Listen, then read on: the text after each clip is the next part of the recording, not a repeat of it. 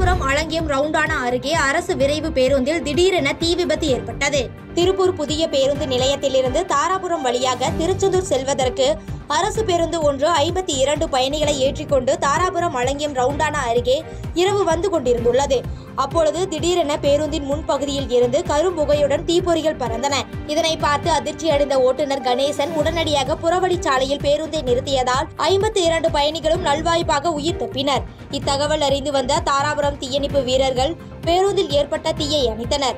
மேலும் ஐம்பத்தி இரண்டு பயணிகள் மாற்று பேருந்தில் வழி அனுப்பி வைக்கப்பட்டனர். அதில் ஒரு சிலர் தங்களுக்கு மாற்று பேருந்தில் அமர்வதற்கு இருக்கைகள் இல்லை என சாலை மறியல் போராட்டத்தில் ஈடுபட முயன்றதால் பரபரப்பு ஏற்பட்டது. பாதகம் செய்பவரை கண்டால் நாம் பயங்கொள்ளலாகாது பாப்பா. மோதி மிதித்து விடு பாப்பா அவர் முகத்தில் உமிழ்ந்து விடு பாப்பா.